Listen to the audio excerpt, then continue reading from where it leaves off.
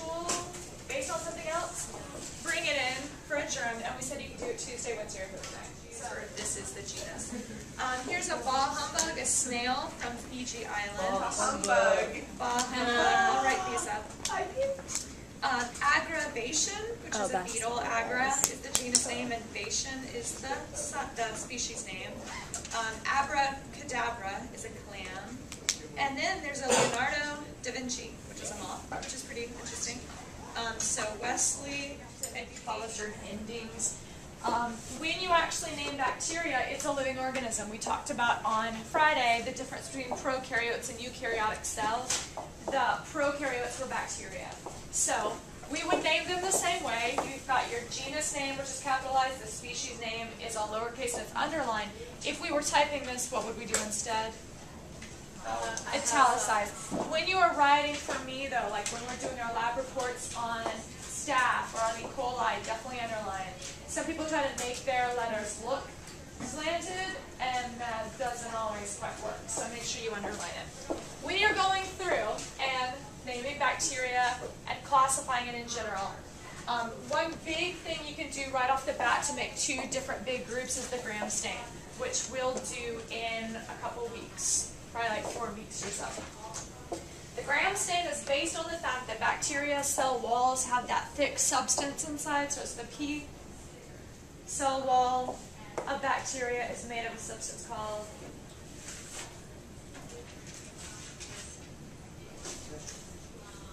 cell wall material pep peptidoglycan.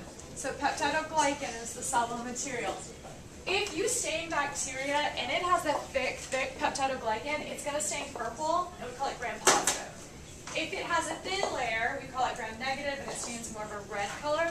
So this is how we can get a big, different classification. Then we can go through and keep narrowing and narrowing until down at the very end, all we have is names of actual species. There's nothing else kind of in the same group as him that has all the same traits. So cellular shape bacillus or coccus bacillus was a rod-shaped. Coccus is a Circle. circle or a round. So we can go through and we can look at catalases. Do they use a catalase to help break down? From chemistry, what's a catalase? Speeds up a reaction without harming it or altering it in any way. So you can speed up the reaction with catalase.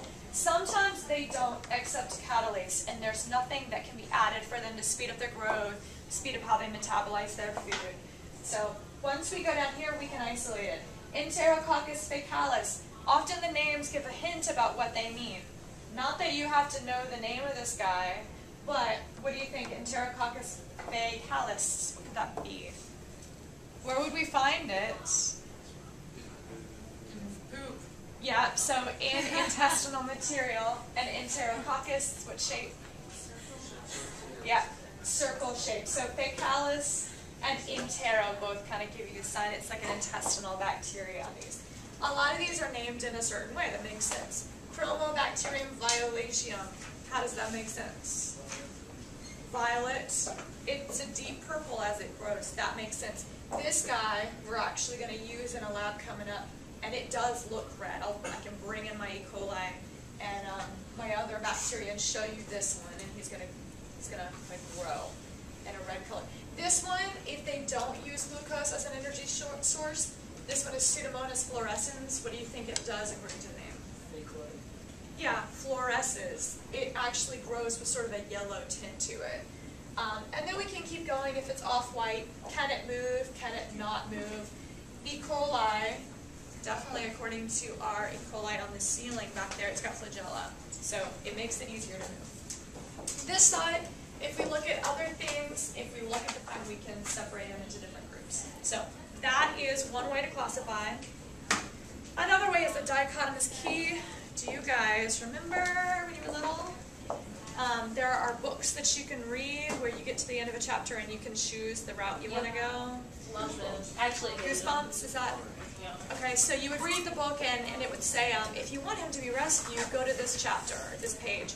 If you want him to face more danger, then go to this page. You kind of separate and you can choose your own ways. So quickly on this worksheet, go through a dichotomous key, pick an organism. You don't have to start with this guy. You know, if you were in the field and this is the first one you'd see, then you'd pick him and go through the steps. So go. Amazing. oh yeah, by the way, I do have one more scientific name. Orgazabus sub-zero. See, backwards they're the same. Ah. That is a scientific name, so Um, if you want to give me a germ for that.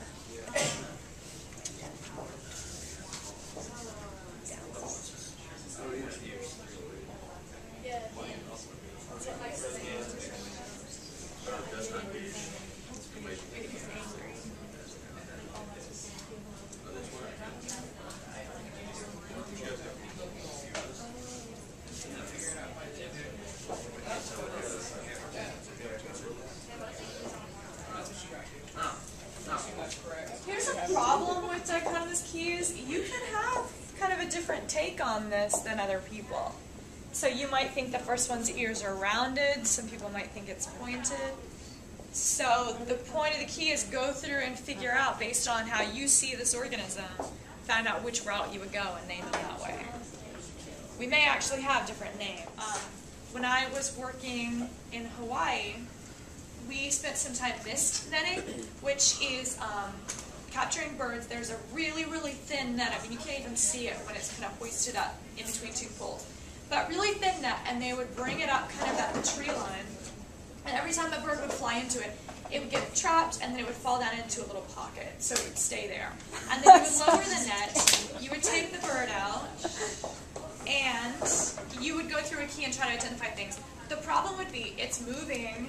It could be one of several species, and you might only have a key that goes with one species, but another bird that's similar in appearance. Um, but we would go through things like the first question would be about beak length, and we would take a little um, metric ruler and we would measure the beak. And if it was longer than so and so centimeters, then go to question number two. If it was shorter, go to the next one.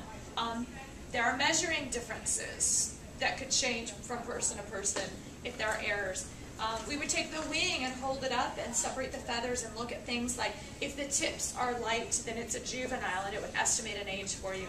But you know, there are genetic differences in birds that could affect it.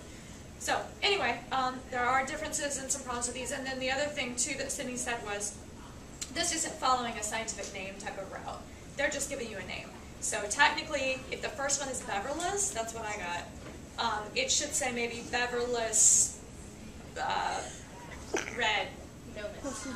Yeah, Nomus. Beverless Nomus. And then the N for Nomus would be in lowercase. First one I got. Okay, next thing is not easy at all. When I did this last year, I wasn't sure that it could be done, so I just gave it to the students and looked to see what they could do, and it worked out. It's usually about 23 statements. Get in groups of three, two, four, you decide. You need one sheet of paper, and you need a pack of these organisms. For microbiology, we'll use these, we'll call them germs. You and your partners need to make a key. What I would do is at first make two piles. So figure out, you know, when you're looking at all these cards, what is one distinction that makes this group totally different than this group? Just two different groups. Um, maybe I would say all those. Everybody understand? Yep. Any questions? It usually takes about 23 statements, but you could do it in a different way and it might be different. The very first group to finish, call me over and I will choose one of your guys. And if I can go through it and it is correct, and when I went through the steps of your key, I could name it and it was the right thing, then I'll give them all a germ. And yes, the only one winner. So, once you know your groups, come up and grab your organisms. And Jake, you want to grab it? Groups of three, four, maybe two if we have enough.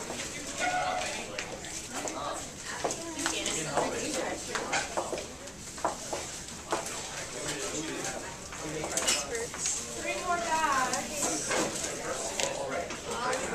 Do you want to work with a pair or an individual? No.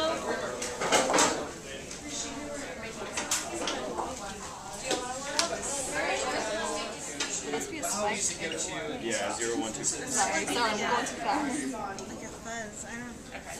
You guys go to. For zero, do one M. That'd be like a Starbucks. Win it. Just keep going. You're holding me.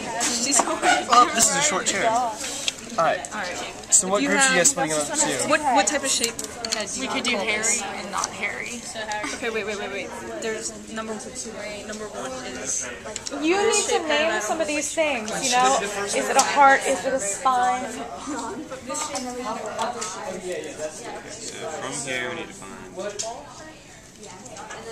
Okay, do shape of bodies after that.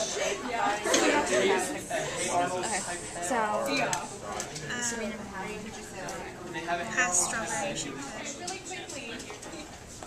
a lot of people, they each use different categories, but it pretty much worked out to be about 23 statements or so. One group, Kelsey, Emily, and Bradley, did 17 statements. So that I haven't seen before, and what they did was they combined several things in one. So technically a dichotomous key. There are, if for each statement, two choices. They had some that they actually went to three. cheated, they cheated. Well, but it is a key that works.